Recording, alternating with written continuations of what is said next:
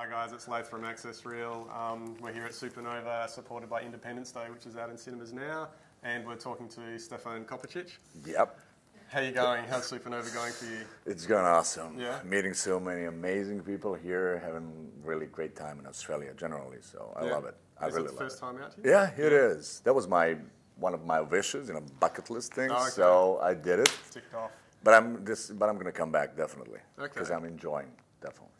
Now, having a, having a look at your filmography so far, you've got a pretty massive body of work behind you. Have- Yes. Is there some projects that kind of stand, stand out in mind that, are, that you've got fond memories of or some really cool things that you got to do on camera? Uh, well, generally, I'm really proud of my theater career Mm. because I'm a theater actor. First of all, I finished Academy of Dramatic Arts in Belgrade, which is one of the well-known schools in Eastern Europe. And but generally, like well, Deadpool. First of all, that's like the biggest thing I did. Well, it's like highest grossing R-rated movie of all time. Yeah. But there are like a few things that I'm really proud of. For example, like Big Miracle with Drew Barrymore.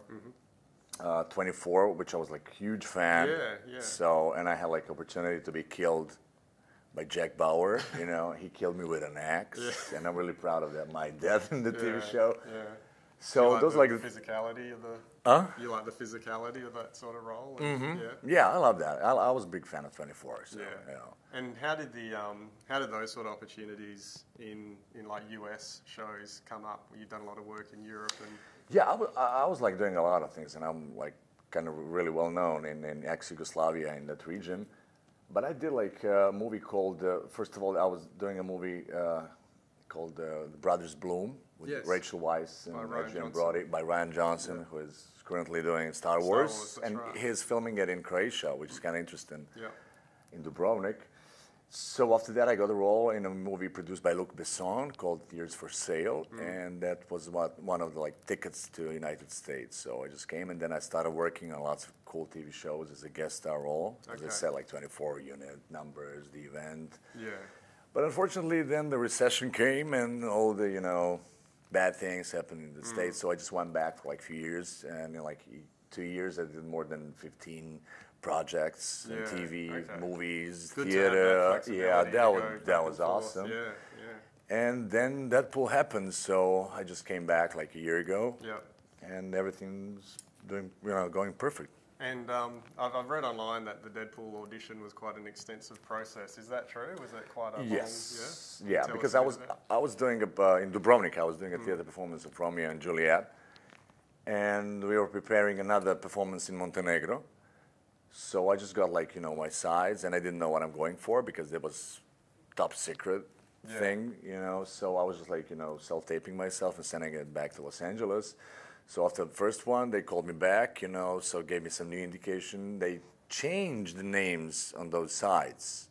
Right. And then me as a comic book geek, when they said like there, there's no more Timur, now that's Wade. You should say Wade, and there's only Wade Wilson in the comic yeah, universe. So I was like, oh my goodness, I'm going for like Deadpool, and my character was supposed to have a Russian accent. So and he's like good guy. So the only guy that I can think about was Colossus. Colossus, yeah. So that was like a dream come true for me. But I was Yeah. still I didn't get the role. So in one moment they called me and they said like we want to fly you in Okay. and I had just like a three day gap. Hmm. And I was like, okay, let's let's do it. So I was traveling one whole day. I came uh, to Los Angeles, went to Fox Studios, met Tim Miller, all the Hmm. writers, producers, and I was like, I was, I couldn't believe that's happening to me. Yeah. So it was supposed to go like for four hours, but Tim liked my voice, and he was like, he already started like you know doing the lines for the movie. So we were working for like nine hours in a row, and then I just sat back on the plane, went to to Montenegro. I, I, I landed two hours before my theater performance. So that was unbelievable. You know, I, I, it was just like a dream Yeah. totally like a dream, you Yeah. know, because I was, you know, putting my costume on, and I was like, come oh my God, this, really happen or no? So Mm. Yeah. a few weeks later, they called me and they told me I booked the role. I'm Colossus. So Did you then did you revisit what they'd done with Colossus on screen before, or did you just make decide to make it your own thing from from the start? Tim Miller wanted something totally different Yeah. from the Colossus that was appearing in uh, X Men franchise. First Yeah. of all, because Daniel Cudmore, the guy who played Colossus before, he's a good actor, but I didn't like the way they did Colossus. Not Tim. Tim didn't like that because that wasn't like Colossus that we know from the comic books. Yeah, yeah. That was more like a Terminator 1000 version of Colossus, mm. which was like silver skin. Much more. It looked more like a Silver Surfer than it looked like Colossus. Mm. Because Colossus is supposed to be like a huge, you know, Yeah. gentle giant. You know, not like you know normal height guy just with silver skin.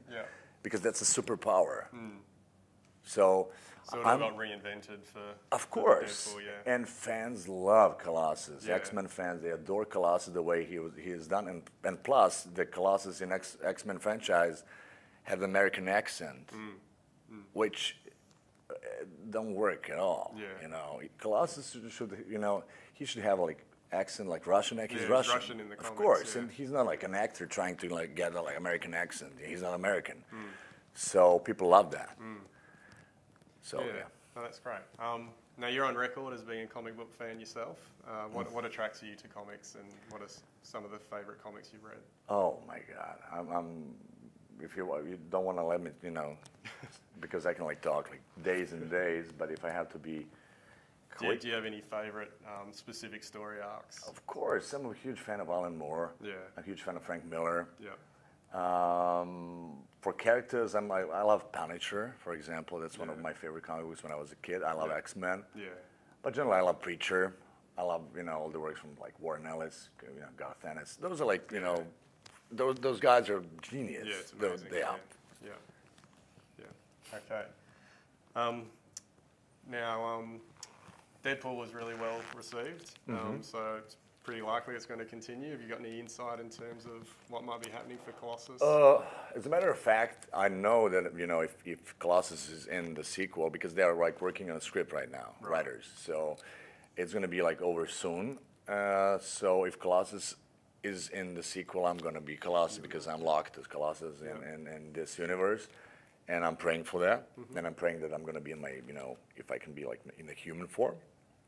So because it would be cool, you know, you don't want to have like another actor, so I have like to voice over the actor in his human form. So you know, Yeah. it'll be kind of cool stupid. Yeah. So Yeah. I'm just hoping like everything is gonna be perfect as it was in the, in the first part. So Yeah. Great. Well, um, I hope that happens. Hope Yeah. there's a sequel. Hope you're in it. Uh, thanks the sequel is greenlighted. Yep. Yeah, it is. Okay, It's in the so it's works. just- so it's just like the question is Colossus going to be in the sequel or not? Yeah, but we're going to know that All right, soon. Fingers crossed. Yeah. All right. Thanks for talking to us. Hope you have a great supanova. Thanks so much. it's a pleasure. Thank you.